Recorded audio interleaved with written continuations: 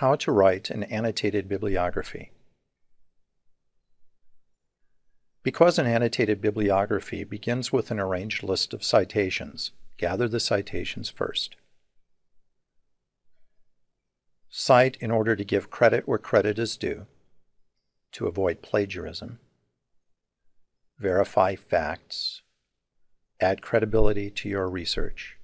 Make it easier for readers to find the materials you used and finally to write a scholarly paper.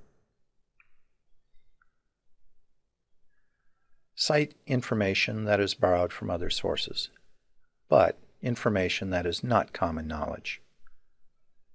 Here's a sample citation. Include the author and year, the title of the article, the title of the journal, the volume and issue numbers, and page numbers.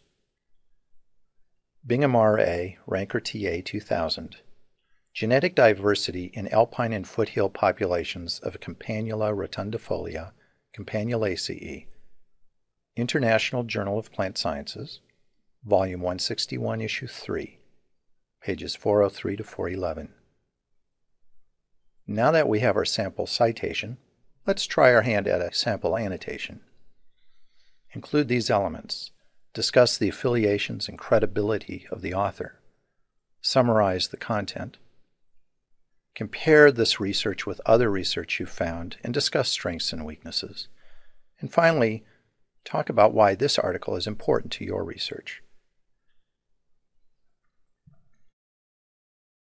An annotated bibliography is not a mere synopsis.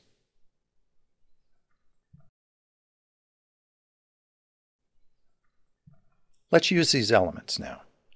Bingham a biology professor at Western State College of Colorado writes that because of highly effective pollination by bumblebees, some trees do not experience a decrease in genetic variability even when they grow at high elevations. This idea is supported by better research here than in other articles that I found.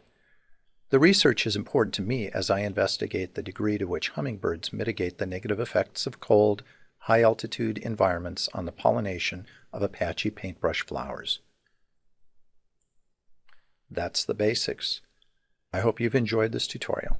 Thanks for watching.